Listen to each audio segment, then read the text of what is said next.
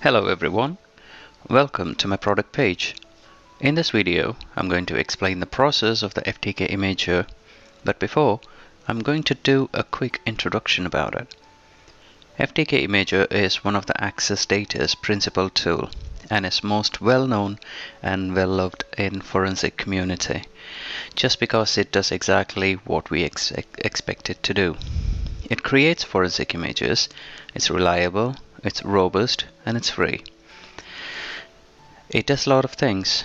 It allows us to create forensic images. It allows us to do forensic preview.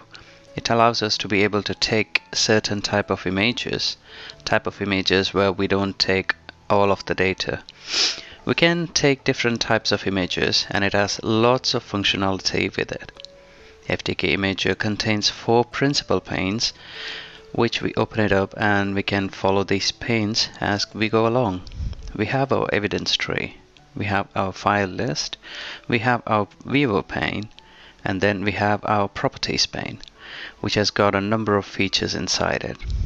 But one thing it doesn't do is that it doesn't write block. So when we are using FTK Imager, depending on the circumstances that we presented with, we have to be working with our write blocking tools as well. And that's really important thing to remember. I'm going to present some important videos that will help um, that will help explain from the install installation process to identifying evidence. Hope you enjoy and learn the process. Thank you.